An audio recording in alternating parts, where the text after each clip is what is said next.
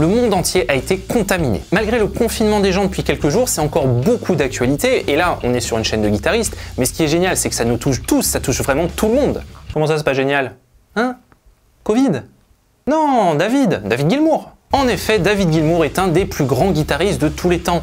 Pas forcément que c'est le guitariste le plus rapide, pas forcément qu'il te sort des trucs de ouf harmoniquement, mais c'est surtout que c'est un gars qui a une oreille incroyable et énormément de feeling dans son jeu. Oui, je parle de feeling, je sais que c'est propre à chacun, mais vous en connaissez beaucoup, vous, des guitaristes qui ont eu autant de succès et dont les gens en viennent à chanter ces solos Il n'y en a pas des masses, et David Gilmour avec Pink Floyd est un des guitaristes qui a fait le plus rayonner la guitare électrique à l'international, et on va s'en inspirer. Salut à tous, c'est Saturax. Aujourd'hui, on va apprendre à jouer comme Covid Gilmour.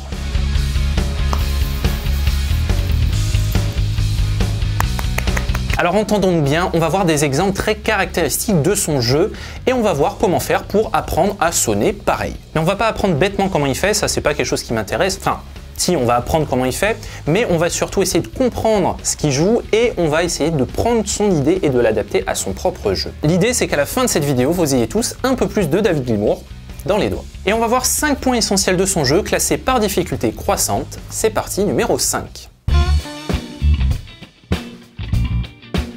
Alors vous connaissez déjà je pense le principe du bend qui consiste à partir d'une note, à tirer la corde pour atteindre une autre note plus aiguë. Par exemple ici on a un Ré à la septième case de la corde de Sol, on a un Mi à la neuvième, et on va partir du Ré, on va tirer la corde pour avoir un Mi. Eh ben, le principe du prébend, c'est de tirer la corde pour aller chercher directement la note cible, mais sans passer par la note de départ. Si on reprend le même exemple, le but c'est d'entendre directement le Mi. Et pour que ça sonne, comme vous pouvez le voir, il faut faire vibrer parce que sinon, si on fait pas vibrer, c'est le meilleur moyen que ça sonne faux. Parce que vu qu'on n'a pas dans l'oreille la note de départ, ben notre oreille est un petit peu lâchée dans la pampe et vise un petit peu au pif.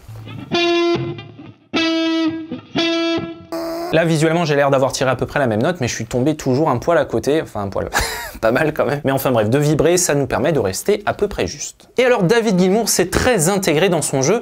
On peut entendre un bon exemple à la toute fin de l'intro du morceau Shine On. Alors, je dis Shine On parce que Shine On You Crazy Diamond, c'est un peu chiant à dire, je t'avoue, donc on va dire Shine On, c'est très bien, très bien. Donc à la fin de l'intro de Shine On, on a un truc qui fait comme ça.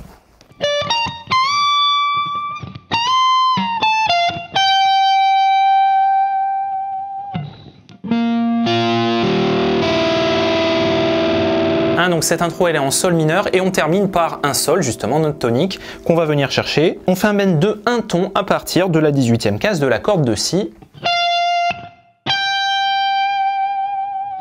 Et ça nous donne un sol. Toujours dans cette intro un petit peu plus tôt, une autre phrase que j'aime beaucoup c'est celle-ci.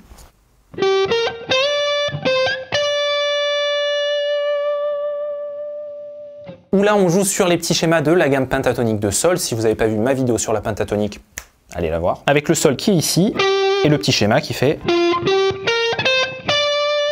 Et on va partir de la carte pour bender jusqu'à la quinte, jusqu'au ré. Et en quoi ça sonne différent C'est tout simplement qu'on n'a pas du tout le même vibrato. Quand on vibre une note habituellement sur le manche, on fait que donner de la tension en plus à la corde puisqu'on ne peut que la tirer. Alors que quand on a un pré-bend, eh ben on peut faire varier la tension de la corde plus haut mais aussi plus bas. Et du coup ça donne un vibrato un petit peu différent. En gros, au lieu de vibrer en montant, on peut vibrer en oscillant vraiment autour de la note. Et aussi on a une stabilité qui est un petit peu différente donc ça donne vraiment un grain particulier à notre vibrato. Et puis à la question comment faire pour être juste, ben, il faut s'entraîner Hein. Là, c'est vraiment juste de la pratique. Euh, c'est vrai que David Gilmour, c'est quelque chose qu'il utilise beaucoup dans son jeu. Moi, c'est quelque chose que j'aime bien utiliser. Vraiment, c'est quelque chose que j'ai pris. Alors, je sais pas si c'est consciemment de lui, en tout cas, c'est quelque chose que j'aime beaucoup utiliser. Mais généralement, je me rends compte que la plupart de mes élèves ou des guitaristes que je croise n'utilisent pas forcément cette technique. Bah, je suis curieux un petit peu de savoir si vous, c'est quelque chose que vous avez l'habitude d'utiliser. Dites-moi un petit peu dans les commentaires. Et on passe au numéro 4.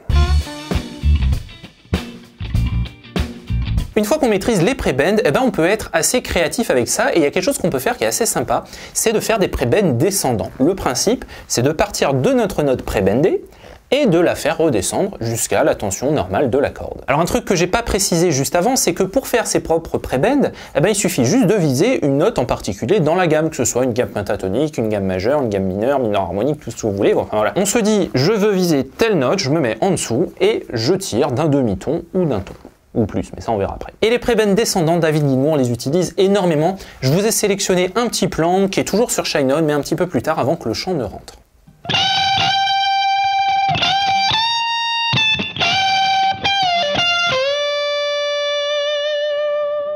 Alors au passage, on retrouve un bon exemple de bend avec en plus la note qu'on bend sur une autre corde. On est sur la de sol. On a notre sol à la 15e case de la corde de mi et on va bender à partir de la 18e case de la corde de si et on va jouer les deux en même temps.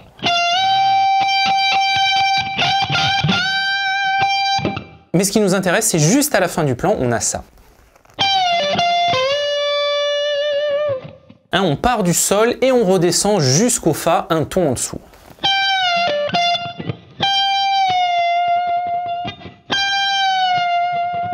Et alors c'est assez joli, et ça, et bien sûr, on pourrait le transposer à d'autres endroits sur notre pentatonique, par exemple.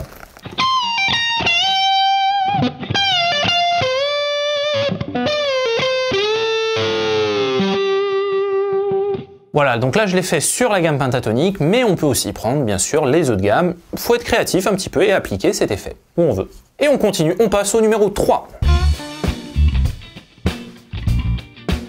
Donc on va voir ce que j'appelle moi les bends de transférer. Le principe c'est de partir d'une note bendée et de transférer le son jusqu'à une note frettée. Par exemple ici on a un Ré à la dixième case de la corde de Mi et on a un Do à la treizième case de la corde de Si. Et si on bend notre Do,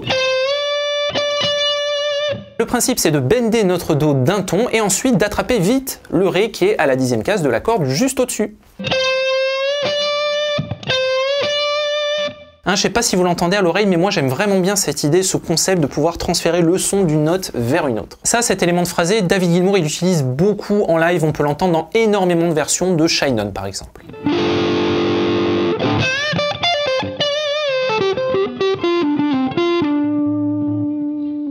Hein, on commence ce plan par... Et puis après on retrouve toujours des pré-bends, des trucs comme ça. Euh.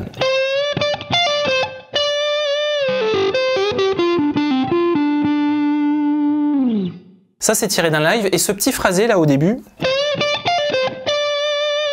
je le trouve vraiment bien, vraiment caractéristique de son jeu et on peut le transposer ailleurs.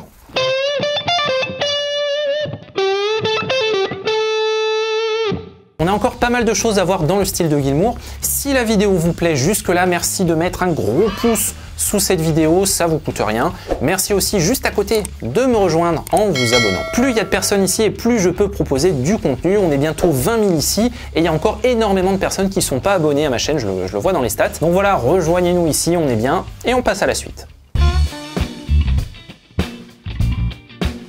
La plupart des bennes qu'on joue sont des bennes d'un demi-ton ou d'un ton, mais qu'est-ce qui nous empêche de voir plus loin et de faire par exemple des bennes d'un ton et demi? C'est pas qu'une question rhétorique, déjà il y a la tension des cordes qui joue. Je change de grade parce que l'autre elle est en 11,56, celle-ci elle est en 9,42 et donc ce sera beaucoup plus facile pour bender.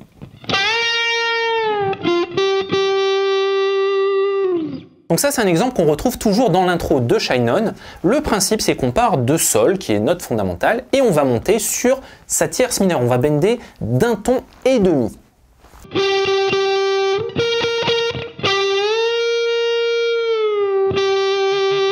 Là, on est toujours clairement sur la gamme pentatonique, et si on regarde dans notre pentatonique, on a d'autres exemples d'intervalles de un ton et demi, par exemple, de la quinte vers la septième mineure. En l'occurrence, du Ré vers le Fa,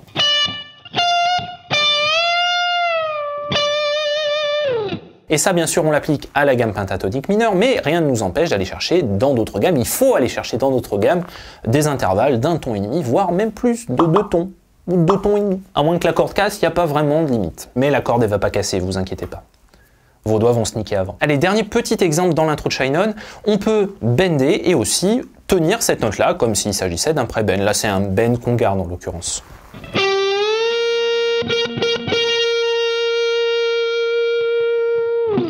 Je m'éclate les doigts. Donc voilà, bien sûr, faut être créatif et composer avec tout ce qu'on a vu avant, c'est-à-dire les pré-bends, euh, les vibratos, les bends relâchés, etc., etc. Donc voilà, ça fait un peu mal aux doigts à la longue, mais il faut tester. Et si vous croyez que vous aviez mal aux doigts, les bends composés. Là, on atteint vraiment le nec plus ultra de ce qui se fait mieux en matière de Gilmour. Le principe, c'est qu'on fait un bend, et puis par-dessus, on fait un autre bend Et puis on peut encore en mettre un autre. Donc on va chercher plusieurs notes en tirant la même corde à la même case. Et le morceau où Gilmour il en a mis absolument partout, c'est bien évidemment Another Brick in the Wall, avec un anglais fabuleux.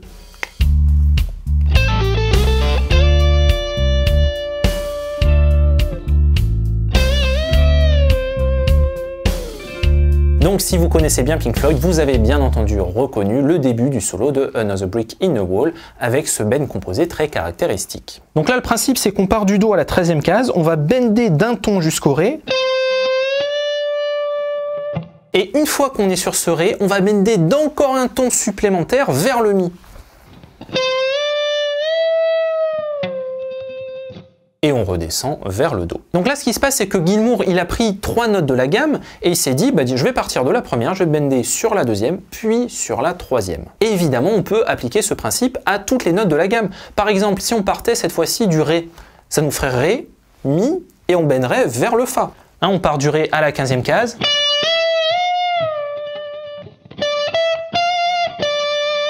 Ou on pourrait partir du Mi et faire Mi, Fa, Sol. Partir du Fa et faire Fa, Sol, La. Enfin bref, il y a plein de manières d'être complètement créatif avec les bends composés. Et le bend composé le plus impressionnant de sa discographie, celui qui a marqué vraiment des générations de guitaristes, c'est celui-ci.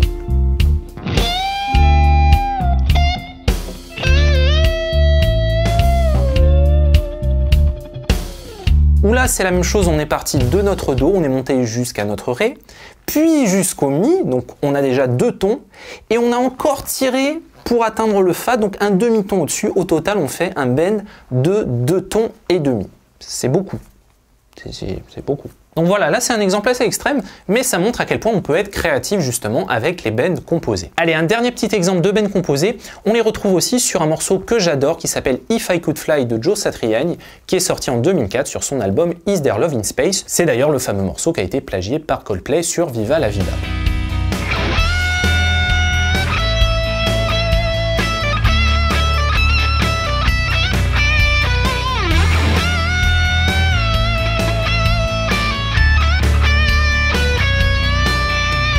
Voilà, ça c'est vraiment le refrain du morceau. Et sur la première note,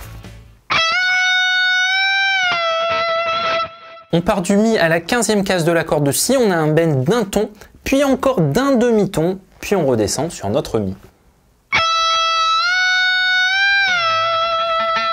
Voilà, là je vous ai pris un exemple, Satriani, que je connais bien, mais vous avez certainement des guitaristes dans votre répertoire qui utilisent des bends composés, voilà, d'un ton et demi, de deux tons, etc. etc. Ben, partagez-les un petit peu en commentaire. Et bien voilà, j'espère que cette vidéo vous a plu. Si elle vous a plu, vous pouvez me soutenir en mettant un tip sur mon Tipeee. Voilà, un tip c'est un pourboire. Vous avez aussi accès au tab dessus. Vous pouvez bien sûr me soutenir gratuitement en mettant un pouce, en vous abonnant si vous ne l'avez pas encore fait. Et bien sûr, partagez cette vidéo à vos amis, surtout en période de confinement où on n'a pas grand chose à faire et on va en profiter pour faire un maximum de gratte. C'est valable pour vos potes, mais pour vous aussi. et pour moi aussi d'ailleurs, tiens. Voilà, écoutez, on se donne rendez-vous dimanche pour le prochain format court. Faites de la gratte, éclatez-vous. Ciao les gens